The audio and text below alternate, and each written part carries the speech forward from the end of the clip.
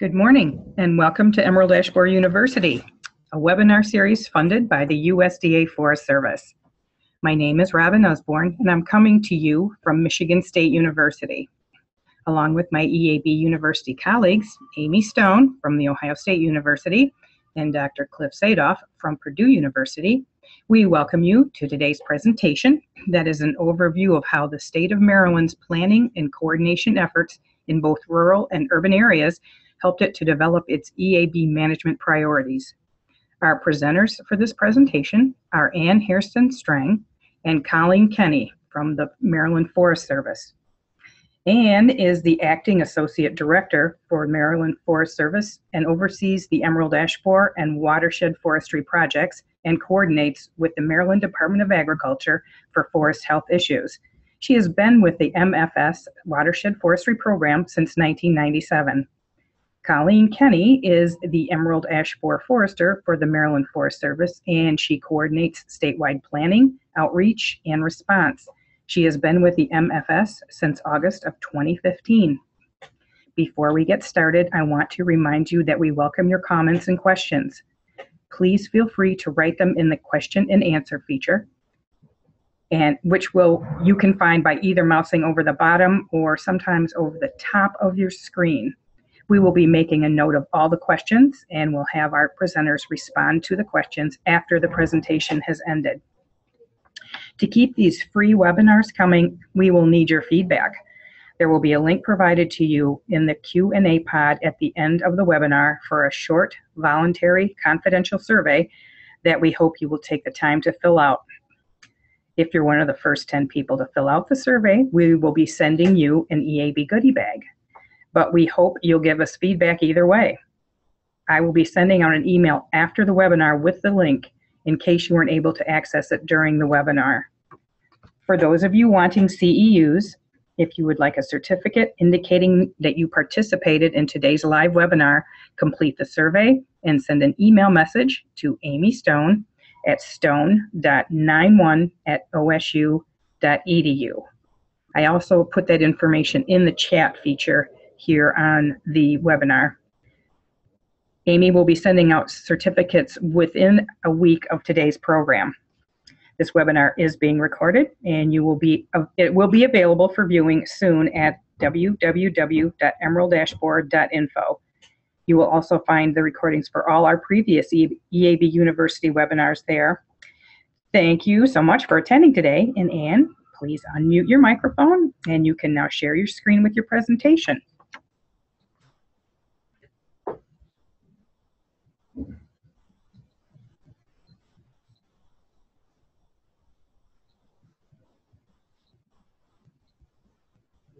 Okay, can you, can everybody hear me okay? Yes. Okay, well, thanks so much for the opportunity to, to share our experiences uh, here in, in Maryland. Um, it is, uh, I think everybody's familiar with the really devastating impacts of emerald ash borer. Um, and we learned a lot from looking around at uh, what had been happening in other states and one of the things I, I hope people come away with is sort of the understanding of how, how beneficial it is to be able to have that, that transfer of information and how it helps us um, manage some of the really horrible impacts uh, of this exotic invasive insect. And I know that we know that we're going to need to be prepared for more of its uh, cousins and brethren uh, down down the road. So we appreciate the, the learning opportunities that this contributes to. I'm gonna uh, talk a little bit about uh, the background, you know, our particular situation and what we had to respond to in terms of you know, management and priority setting. Then I'll go into some of the details of uh, the, the progress and, and results, and then talk about future plans.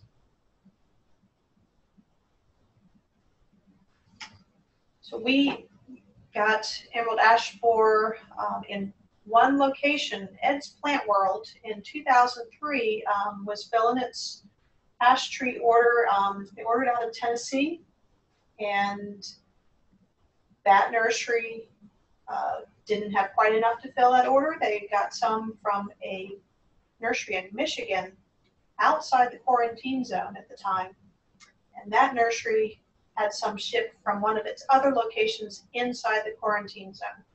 And those are the trees that arrived uh, at Ed's Plant World. And that one of our nursery inspectors, MDA nursery inspectors, found uh, that summer. And at the time, it, it was a very one isolated instance, and we thought we had a really good shot at eradication. And so we started, you know, the best available information that we, you know, we could get from, you know, what we knew, you know, what people knew about the biology of the bug at the time is that, you know, it didn't usually travel more than half a mile. So the little green triangle in the middle of the screen is where the initial uh, infestation was.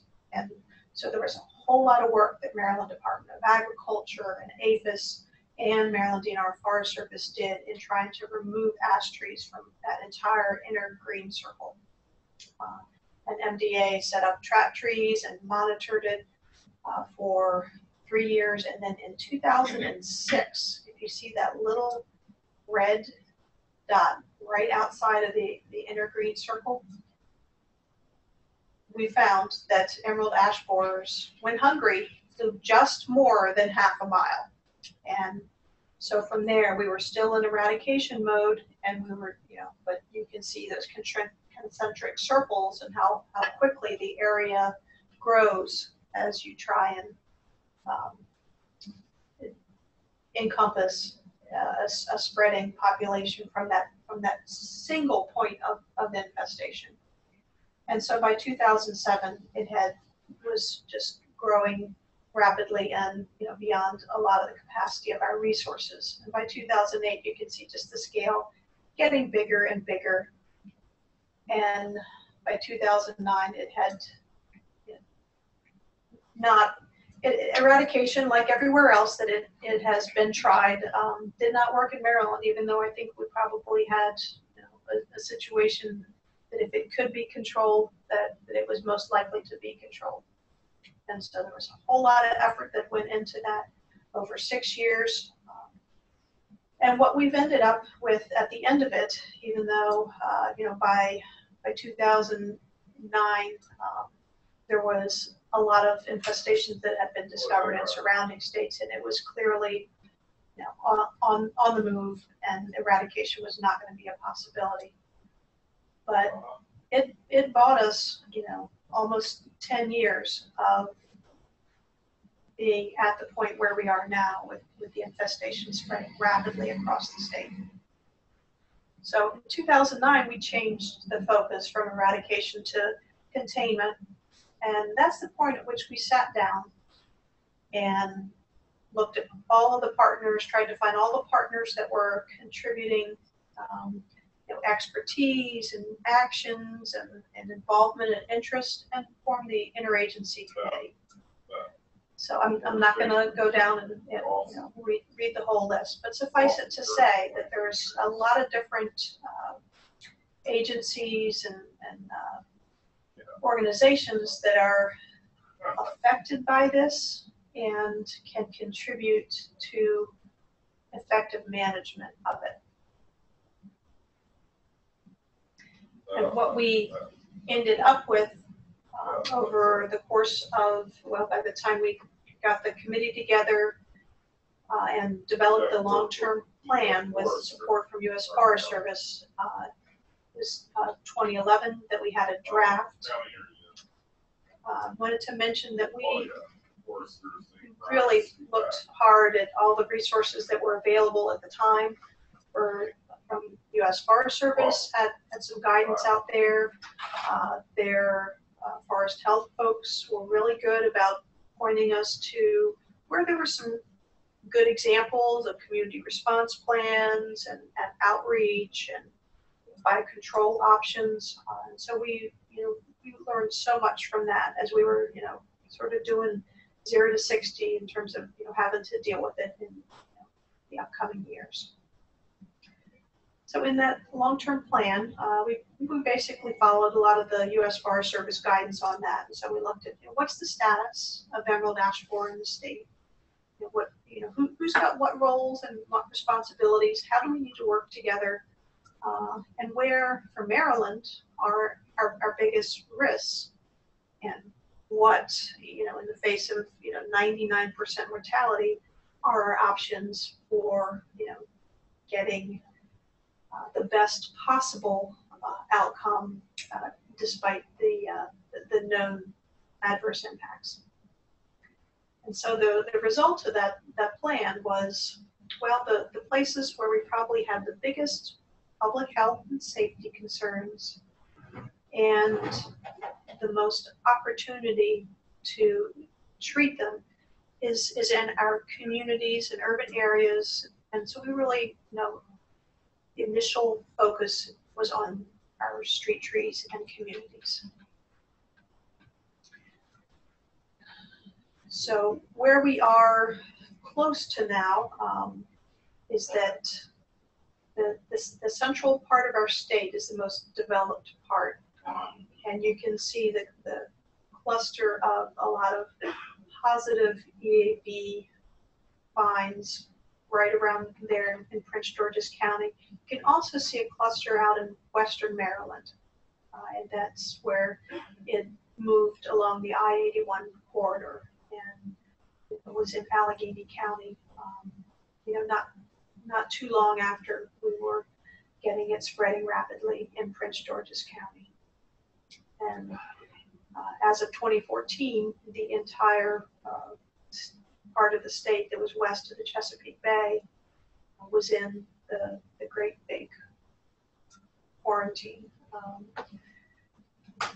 in 2015, we uh, Maryland Department of Agriculture was continuing its survey work, and they found emerald ash borer in several different locations, unfortunately. So we had hoped to have a couple more years before it, it moved onto the eastern shore, but it is there now. Delaware is still uh, has not found signs of emerald ash borer.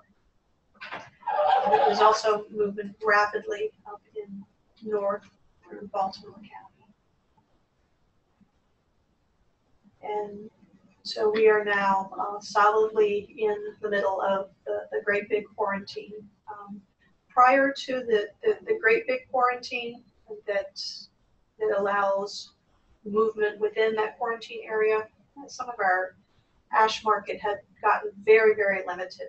In, in Maryland, we're not a big ash producing state to begin with. The markets are relatively small and, and people had mostly backed away from it. Um, and so with the with APHIS moving to the Great Big Quarantine, it has helped our ash markets be a, a little more available uh, so that we have more options for removals uh, if the situation allows for that. A little bit more about you know what our risks are in, in Maryland. Uh, we have you know probably a, a lower amount of ash than many of the lake states. So we have less exposure, but it's still millions of trees. And one of the things that you know, we realize, even though the overall number is, is not that large, there are some areas where there are fairly pure ash stands and they're in areas that have uh, particular concerns for, for water quality.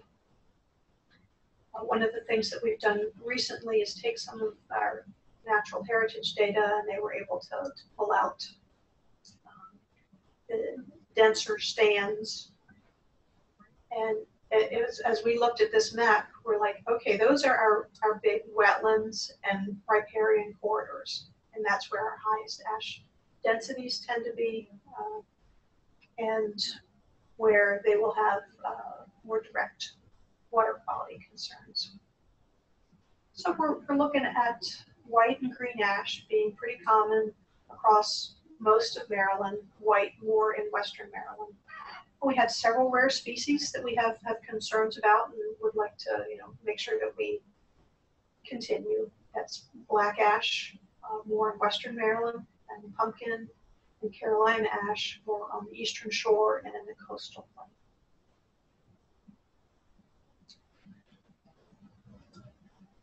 This map shows some of the, the species distribution. So you can see the, the green ash you know, clustering in our riparian areas and wetlands, the white ash being a little more in the upland. This isn't all of the ash in the state. This is just where we have our uh, natural heritage plots, where we do our vegetation community descriptions, where we have very detailed species data.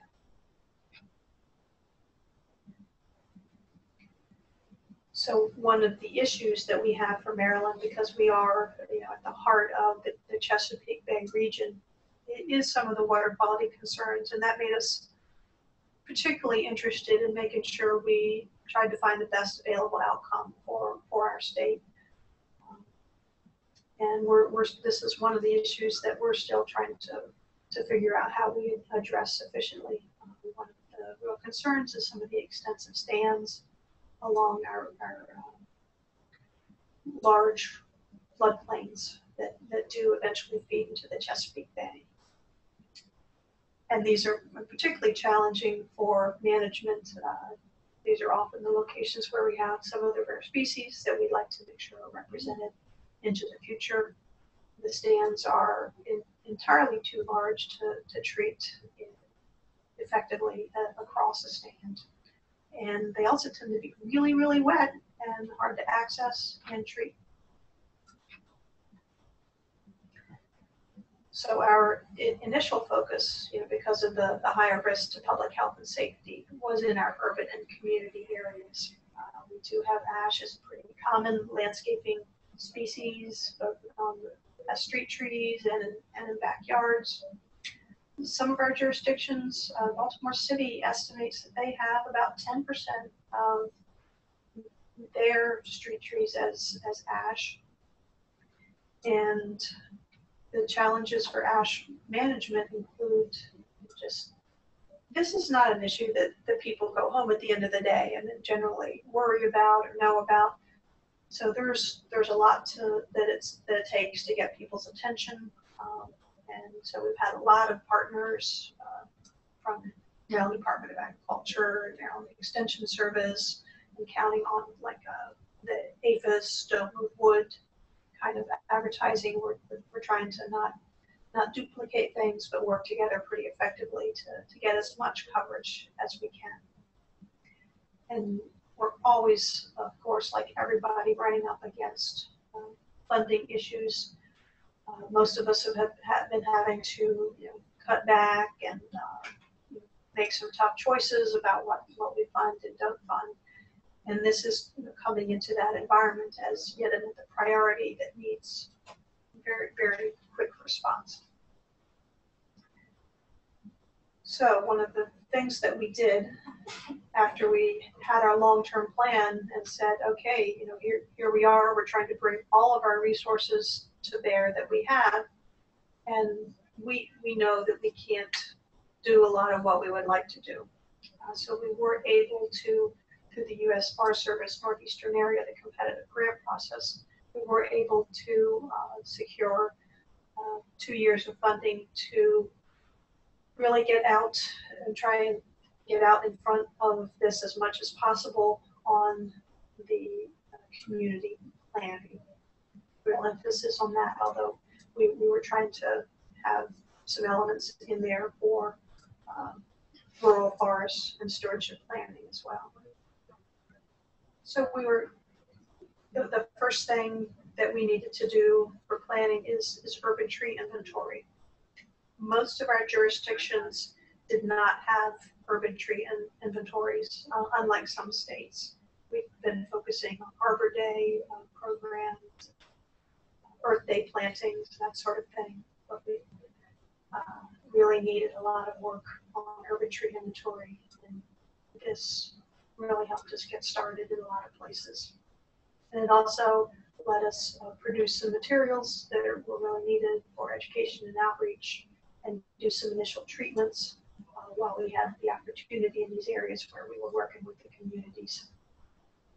We also used the, uh, the funding to get started on utilization options, thinking, you know, with Emerald Ash Borer, with the expected increase in dead tree removals.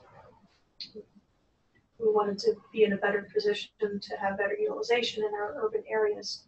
We wanted to do it in a way that informed the, the larger picture of, because there's always better utilization for some of these urban wood and storm debris, uh, those kind of options.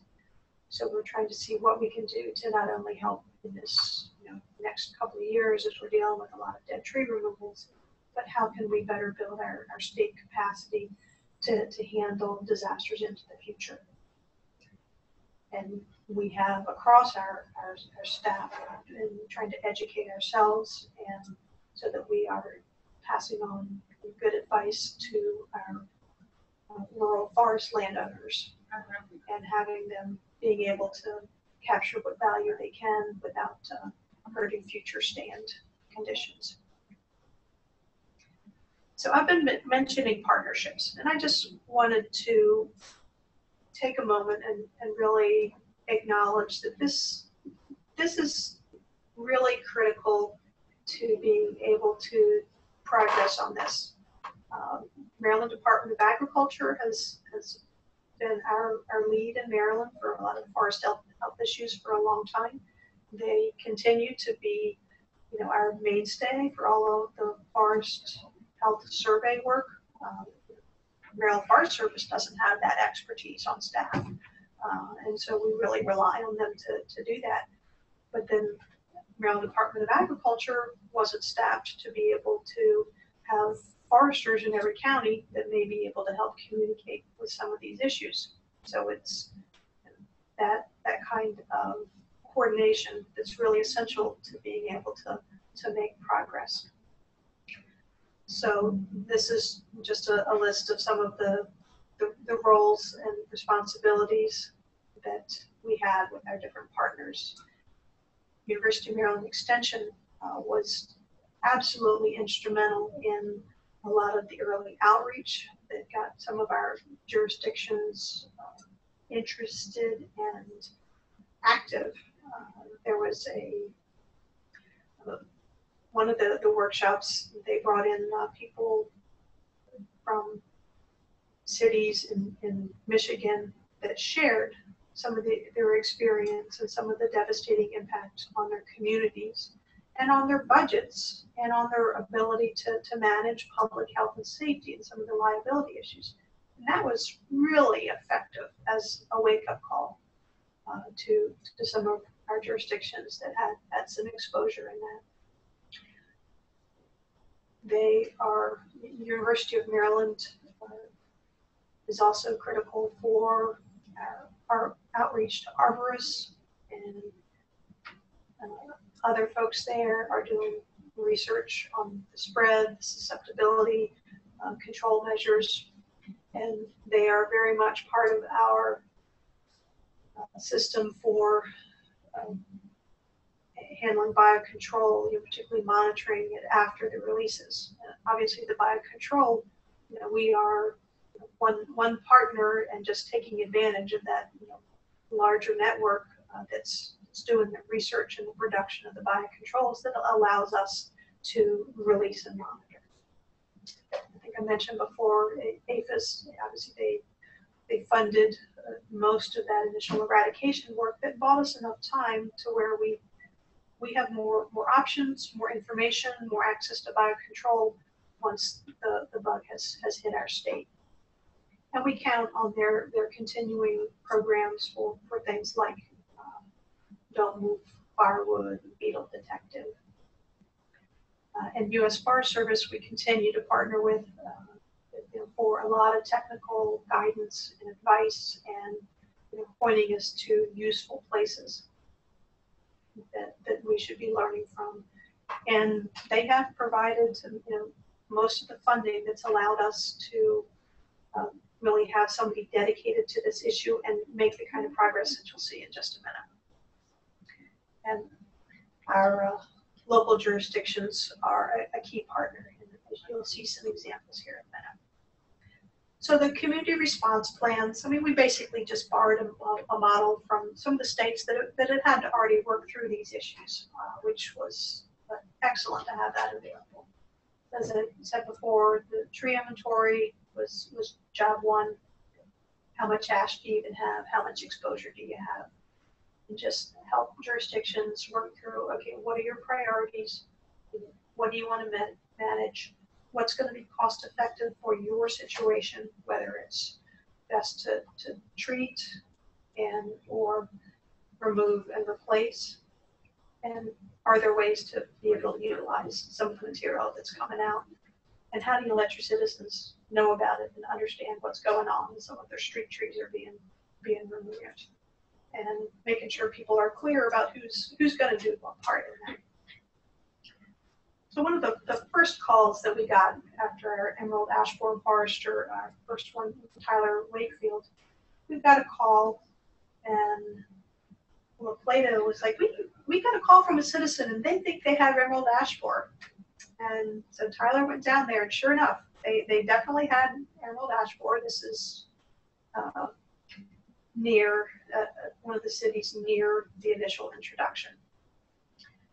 And that community where we got the call from had almost pure ash street trees that were very young. They were probably planted about the time that uh, we found emerald ash borer in the United States.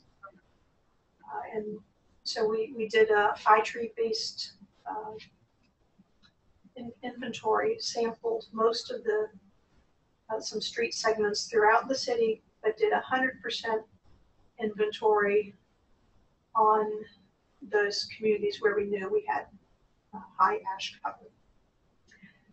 Uh, so some of them had already uh, died and you know, were, were being removed.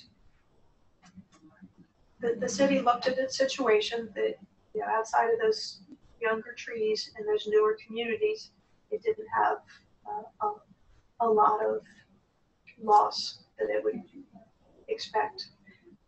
And they, they chose to, to do removal and replacement uh, rather than try and do a lot of treatment on these younger trees, knowing that they would have to, to retreat into the future.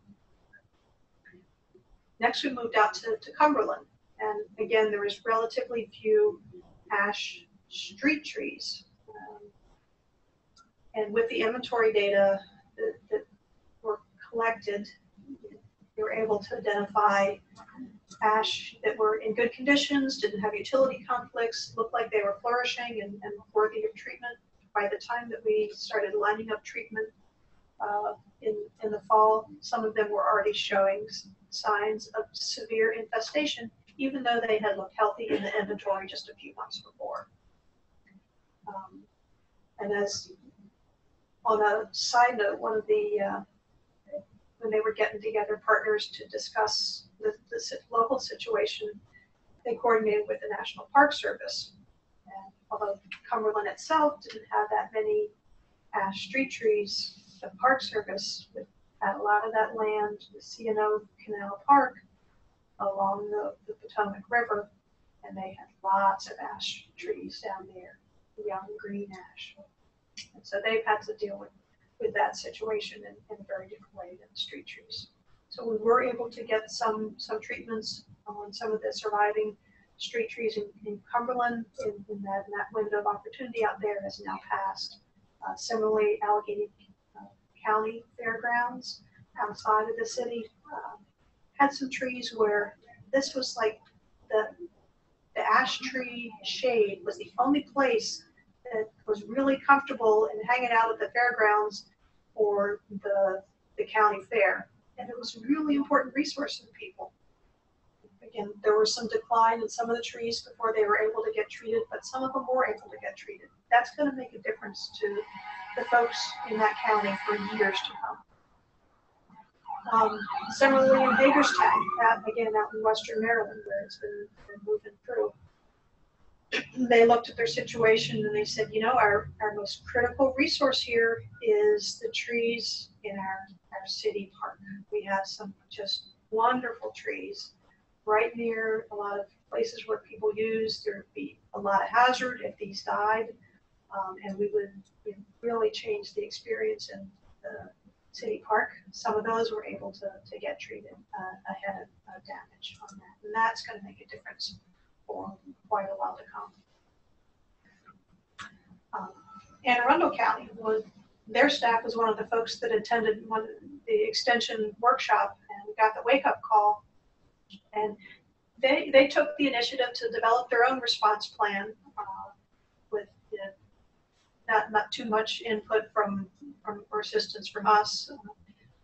Uh, and they've also been an excellent partner as we were developing an option for volunteer-based inventory. We were trying to get done what we could with the field staff that we had, but there's a lot of area in the state, and Anne Arundel County is a pretty pretty developed county, and most of it there's a lot of street trees.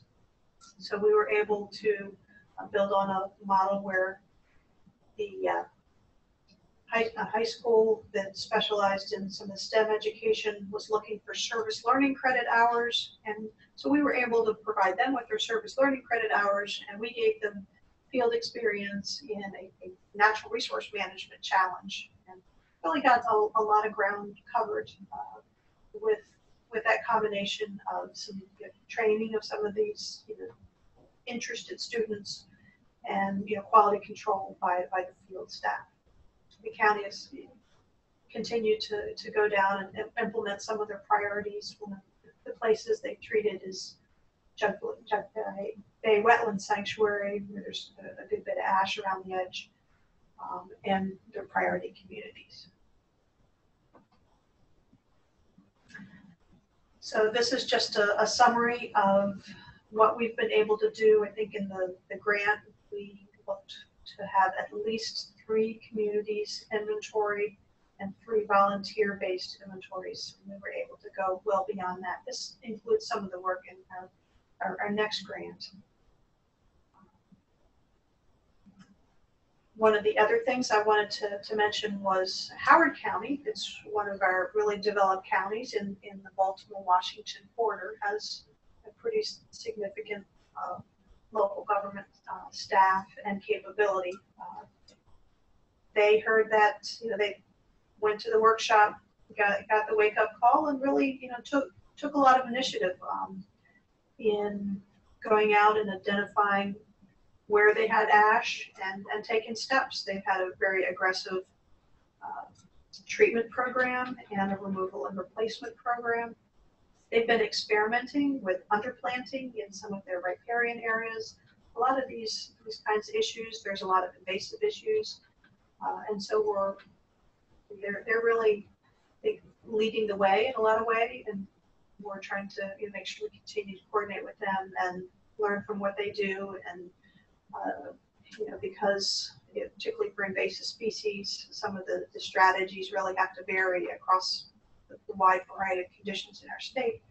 And this, this is something where we're all trying to, to learn together. And so Howard County is one of the places where they've really been able to make, make some progress while they, had, and if they hadn't had you know, the information, you know, ahead of time, they wouldn't have these options now um, one of the, the last things in, in our you know, completed work was this decision flow chart for our rural forest landowners that helps our foresters work through what are the good good options with different conditions. So that's uh, a, a, tool we've been using uh, as we do forest stewardship plans with rural landowners. So that moves us to where we're going into the future, and I'll let Colleen talk about that. Okay, um, so with this uh, next round of funding that we've received from the U.S. Forest Service, um, we're hoping to continue our urban tree inventories and our community planning, um, most likely moving into the northeast part of the state and uh, the eastern shore of Maryland, where um, EAB has just sort of gotten into the area. Um, but we're hoping also to be able to change focus a little bit and look at some of our core green infrastructure, um, so our forested areas. Um, whereas before we've mostly been looking at street trees and our urban parks, um, starting to look at some of our uh, forest stands now. Um, so one of the key components is uh, planning on the Delmarva Peninsula. So that'll be cooperative planning with Delaware, and Virginia. Um, we're going to be doing some planning on our protected lands. Um, and by protected lands, um, I'm referring to both our state lands, things like state parks and state forests, um, but also working with uh, private conservation groups like the Nature Conservancy, um, who own some uh, pretty large properties that contain very extensive ash stands, particularly on the eastern shore. Um, we're looking into treatment areas and also some alternative management like biocontrol where treatment isn't feasible. Um, continuing our workshops and education um, as always, just to get the word out, especially on the Eastern Shore where EAB is a new issue. And then uh, continuing with our pilot utilization program. Um, so I'll run through some of the different approaches that we've been using um, or that we're hoping to use for these different focus areas. Um, so first, uh, coordination on the Delmarva Peninsula. Um, so uh, for those of you not familiar with uh, Maryland geography, uh, the Delmarva Peninsula is this strip of land between the Chesapeake Bay and the Atlantic Ocean. Um, so it's Maryland's eastern shore, Delaware, and then part of Virginia. Um, and as Ann mentioned, Delaware doesn't have EAB yet. Um, they've been doing extensive trapping and they haven't found it yet. Um, so one of the first uh, focus areas that we have on the Eastern Shore is trying to get information out about um, the quarantine to uh, residents on Maryland's Eastern Shore. Um, because EAB is a new issue and Eastern Shore residents haven't had to deal with the quarantine before, we want to make sure that people understand the risks of moving firewood and things like that since we do share a border with Delaware. Um, we're also hoping to partner with Delaware on um, any kind of outreach events that we can. We've already worked on some on a homeowner workshop in Newark, and we'll be um, looking for some more opportunities to um, share outreach opportunities there. Um, in terms of inventory, uh, we have some key evacuation and emergency routes um, that do span state borders on the Eastern Shore. And so that's going to be one of our inventory priorities um, in the coming year. Um, and we'll be beginning our inventory and also our local and regional response planning this coming summer 2016 um, now that EAB has made it onto the Eastern Shore.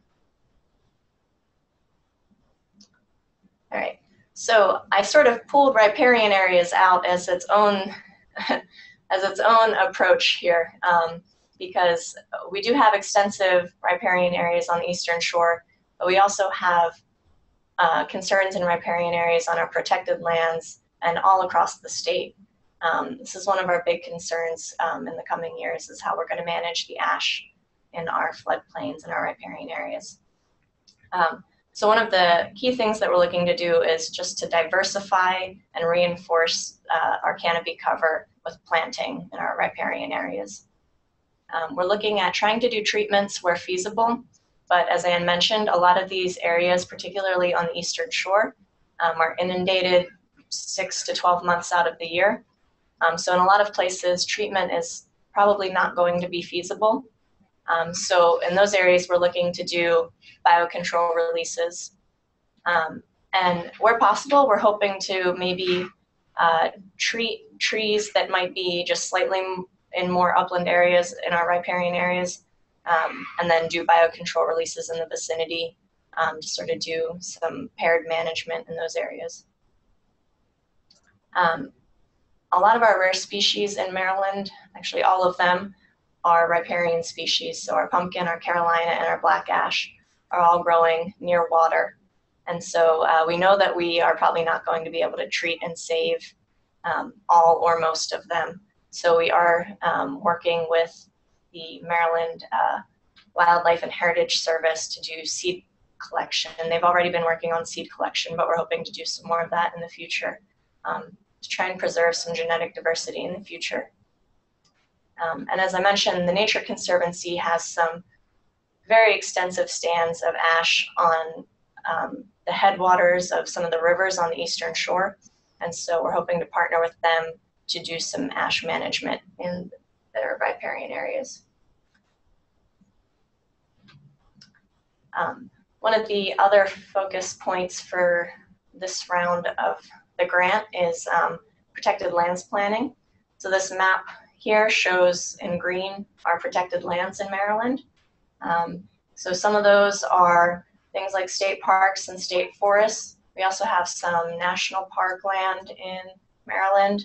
Um, we also have uh, county and private protected lands.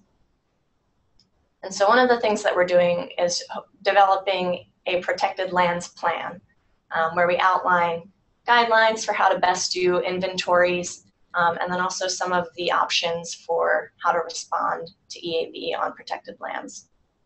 And we're sort of coming at this from the objective of managing safety risk. So particularly in our state parks, um, we have a lot of high traffic visitor areas um, where if we have a lot of falling ash trees, um, that's going to pose a serious public safety risk. So uh, we're coming from the perspective of trying to uh, use treatment and um, biocontrol and removal to minimize public safety risk. But at the same time, we know that we have a lot of our rare species and our specimen trees in our protected lands. Um, so trying to get some uh, treatment options and some management options in there to preserve some of those trees as well. We've begun working with the Maryland Park Service and started to um, develop an approach for how we're going to go about managing ash on protected lands. So um, we've been doing inventories around our developed areas at this stage. So that's things like uh, campgrounds or picnic areas, places where we have a lot of visitor activity and where people are kind of staying put. Um, and we're hoping to treat large specimen trees that are going to pose the greatest safety hazard in those areas. Um, but in a lot of places, we're not going to be able to treat all of the trees that we need to. So we're hoping to do some biocontrol releases. So we're looking at where we might have extensive ash stands or rare species, um, or also maybe just some strategically located stands, some corridors of ash, or um, maybe some areas where we've done some treatments and we can do some biocontrol in the vicinity. Um, and then lastly, um, looking at starting to prioritize and begin removals of any hazardous trees that we find in our inventories. So this here is a map of Patapsco Valley State Park, their campground, uh, one of their campgrounds actually. Um, Patapsco is one of our biggest state parks in Maryland. It's also one of our busiest. It's located right in between Baltimore and Washington, D.C. Um, so they get a lot of visitors and their campground has about 600 ash trees in it. And it's not a very large campground, so the ash density is very high. Um, and most of the trees are about six to eight inches DBH. So most of them are not going to be treated. Um, I did highlight in green the trees that were selected for treatment. Um, but this is one of the areas where we're thinking that biocontrol might be a good option for management. Um, because if we do lose all of the ash in this area, that's going to completely change the character of this campground. Um, and it's also going to place a very heavy burden on the park staff for removing um, dying, dying trees to minimize the safety hazards there. So future directions on protected lands. Um, we are looking at um, doing some replanting and invasive control, particularly in riparian areas to maintain that canopy cover. Um, a lot of our protected lands do run along river valleys. Um, so again, canopy cover is of utmost importance here. Um, the Maryland Park Service um, is going to begin doing some of their response activities using uh, U.S. Forest Service uh, forest health funding um, where they'll be investing in treatment equipment and developing expertise to be able to do some treatments and continue those into the future. And um, again, we're hoping to work with some private conservation groups. We've begun talking with the Nature Conservancy, and we hope to um, develop those partnerships to manage the ash across more of the state. We do have a 50-50 cost share program for treatment um, using the U.S. Forest Service Forest Health funding. Um, and that's for uh, treating trees on public lands. and so we're going to be working uh, with about five communities around the state this coming spring. Um, and these are some pictures from the Hagerstown City Park that Ann was mentioning earlier. Um, we worked with them to do some treatments last year. And um, this is just to sort of show uh, really the quality of the ash, um, the safety hazard that it would pose if these ash died, um, and really sort of the benefits that we're hoping to get from doing some of these treatments, really preserve the benefits that these trees provide.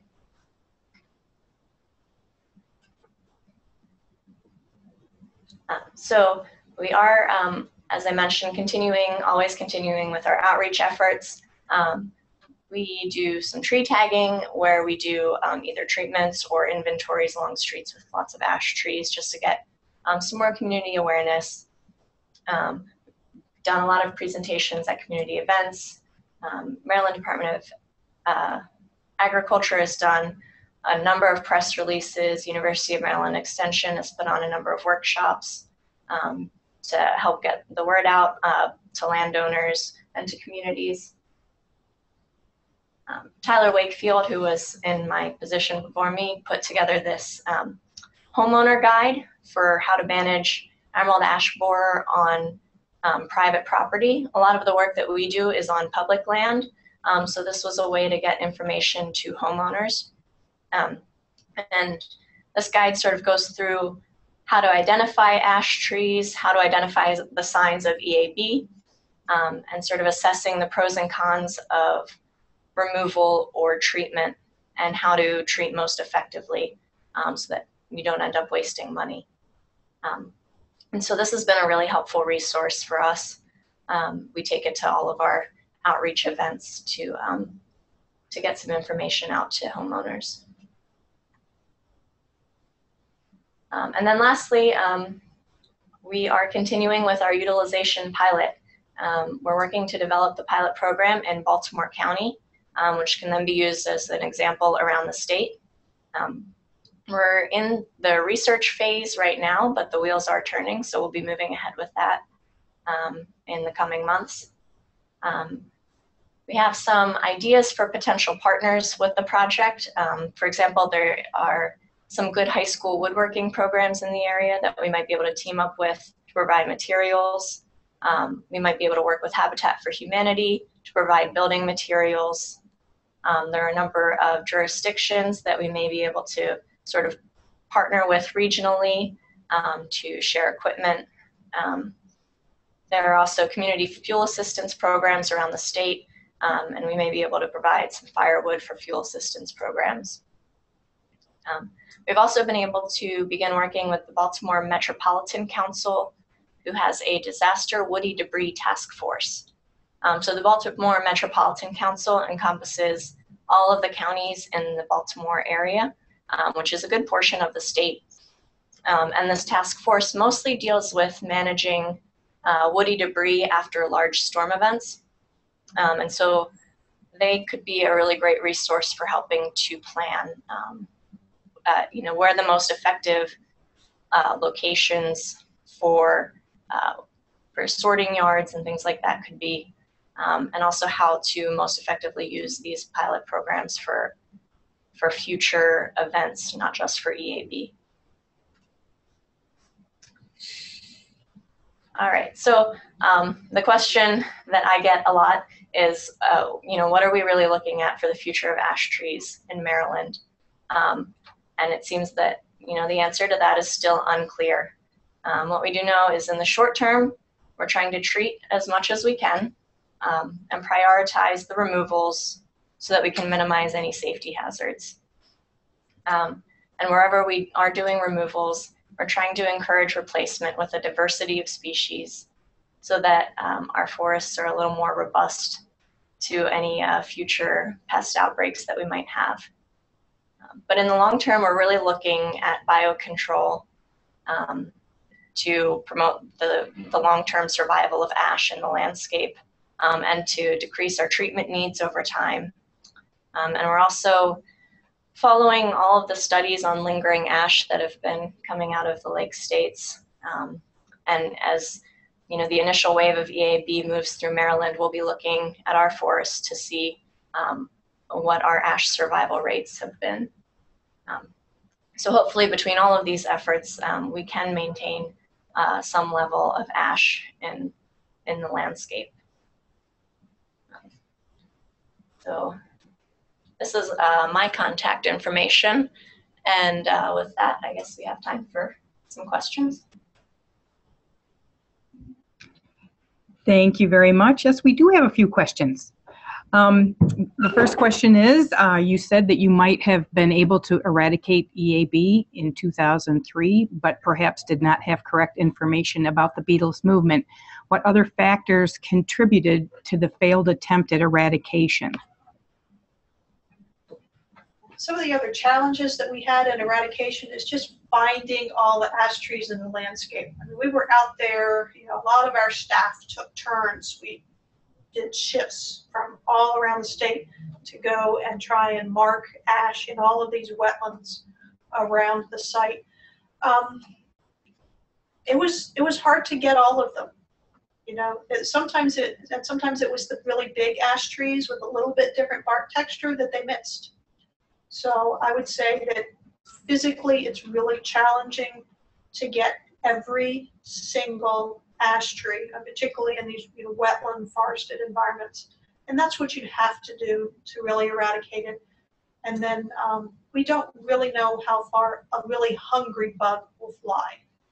You know, we had information on average move, movement, which we think was correct. But, you know, and, and then there's, well, if you got a really big wind, how far would prevailing winds move those bugs that may be beyond their capacity to fly? So I think it's just, you know, for something that's, that's a s- small insect that's up in the treetops for a while before you really uh, identify it, it's, it's a, it's a challenging environment to actually do eradication. Okay, thank you. Um, then the next is outreach, coordination, information, inventory, planning, all good and fair activities. What about enforcement, particularly moving of firewood?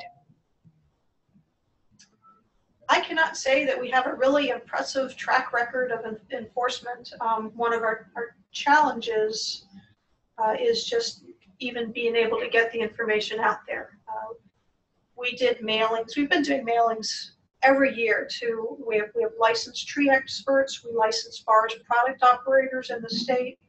Um, you know, and that would include firewood operators where, where they get licensed. And we do have enforcement of those kind of things, a lot of reporting of unlicensed companies. So all those companies have gotten mailings about emerald ash borer, about the quarantine, about what, what rules, what's restricted in its movement. So I think we've, we've done that, but in terms of more casual, you know, let's load up some firewood from Aunt Susie's to take to the campground. Um, I don't think that we have had an effective way to reach those. We tried to have uh, a, sign posted at the Bay Bridge between Western Maryland and the Eastern Shore, and uh, Maryland Department of Agriculture was not able to receive permission for that because it was considered distracting uh, and might pose a safety hazard to motorists. So I, I think we have some real challenges uh, in, in, in that kind of enforcement. All right, thank you. Um, could you please review the process for getting cost share for managing ash from the U.S. Forest Service? That was through, um, again, a, a competitive grant process for forest health suppression funding. So I would contact Northeastern area uh, Forest Health uh, contacts uh, just on, on the website. And uh, generally, I think it would go through, you know, either the, the state forestry or Department of Agriculture agency within your state. So when, when we've gotten that award, um, you know, as when we were successful in that, that funding, now, now we're, you know, we, we put out a request for a proposal to say, do you want assistance? You know, we were gonna prioritize people with, uh, response plans and who have a, you know, have the ability to retreat, uh, in, in a couple years when it's gonna need it. Uh, And so we, we had a a reasonable response to that and we're gonna able, be able to, to, to get more treatment in, in this, this very limited window of opportunity. I mean, we're not thinking that biocontrols are gonna be able to, uh, you know, even where we release them today, I don't think they're gonna be able to affect ash survival. But ten years from now, when ash populations are at a different level in this area, you know, maybe it will be able to be effective in allowing survival of some of our ash. And we do expect, you know, a, a good of resprouting from species like ash. Okay, um, they're looking for a link for that homeowner's guide. Um, if you, if you would want to email that to me, I'll make sure that that's included in the email that I send out to the participants, um, Ann and Colleen. Um, I, and if that's all right, I'll even put it on your state information on the emeraldashborer.info website as well. Yeah, that, that'd be great. Okay. Um, You'll, We you'll have- find that, um, uh, there's a lot of information from other states. Uh, it's acknowledged in there, but, you know, we, we, we took lots of information wherever we could find it. So thank you to those other states that helped us. no use reinventing the wheel on something like this sometimes. for sure. Okay, um, the next one is, although your informational sheet for homeowners conveys the threat from EAB, it does not convey the treatment options visually. How do you convey the treatment options to the public? That's on one of the other pages. We only, we only showed you the front page. Okay, It's actually, uh, it's like a tri-fold handout. Uh, so on the back page, it has how to treat. all right, great. Okay, now it says, what is the budget of the Maryland State Ash Program and how does it compare to the overall budget of the, of the Maryland Forest Service? Hmm. It's so one percent or something. You know, so so what we have in terms of dedicated funding is is just the the, the funding from Maryland DNR or uh, to Maryland DNR Forest Service from U.S. Forest Service, and that's you know probably a little over hundred thousand a year. But then if you add the suppression funding in that we just got recently, so it's you know probably twice that. Um, and in, in terms of, yeah, but, but, but that's just the, the dedicated funding. I mean, one of the things that, you know, we have to consider in here is the fact that we're using that funds in the context of the rest of our staff. And, you know, so every one of our, our, uh, field staff members has gotten education and is working on some of these issues as they come across in their jurisdiction. That's not budgeted as a line item, but it is certainly something that we're doing. Um, but if, if we did not have the grant support, it would be difficult to have you know, the, the kind of level of attention, response, and um, assistance jurisdiction at this really, really critical time when people have options for treating. You know, in a few years, we'll, we'll be past that. We'll probably have some other forest health issue. Kind of never ending, isn't it? Uh, all right, um, though that is all the questions I have at this point. Um, if if others would like to um, pose a question, there, uh, Colleen gave her information there, um, and as well, we will have that information when we send out the email afterwards for both Colleen and, and Ann. Um, at this point, I really want to thank everybody for participating. You'll see I have the survey, um, the survey URL here on this page. Unfortunately, it's not live. Um, this, that's one of the kind of misfortunes about using the Zoom webinar pro- program. You, it isn't, but I will also be sending you this link in the email that you all will get. But we really appreciate this information. Um, as I think I, I told Ann and Colleen before, we, um, with since I coordinate um, the information on the emeraldashborer.info website, I get a lot of inquiries about how other areas of the, the country, um, state, uh, cities, you know, um, that kind of thing, counties are, are dealing with Emerald Ash Borer. And everyone needs, it. they're looking at these management, how people have, have looked at it, the management that's necessary, and how it's how well it's gone. So I really appreciate you sharing your information and your experience today. Um, And with that, I'm going to just uh, let this stay, uh, the little link here stay up for just uh, another moment or two. And with that, I think I will end the meeting. Thank you again. Thank you.